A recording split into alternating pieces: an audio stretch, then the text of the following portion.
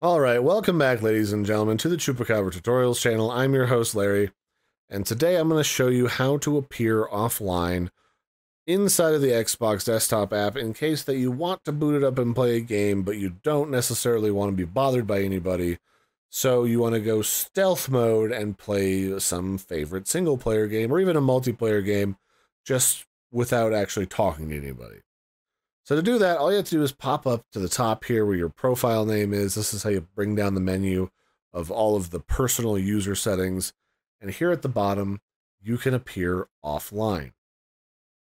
Uh, something to note about this is that if you're offline on the desktop app, but then you open up the mobile app and it's online on there, it can sometimes conflict and kick you back online, or vice versa. It can put you offline if there's a conflicting status on your mobile versus your desktop.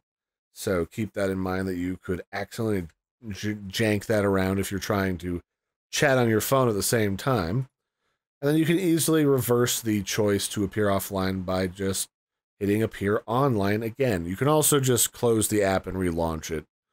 It oftentimes stays in invisible mode, but if it's stuck, relaunching the app will allow you to go pop back in online mode if you keep appearing offline, even though you don't want to, you're going to have to completely log out of your account on the Xbox app, restart your computer, and then load up the app again and then log back in to your profile. I've had that happen a couple of times and it does seem to need a whole restart. I don't know why. So, anyway, that's it for this one, ladies and gentlemen. This has been how to appear offline and online inside of the Xbox desktop app. Uh, you'd think that options would be over here in your friends list, but not really.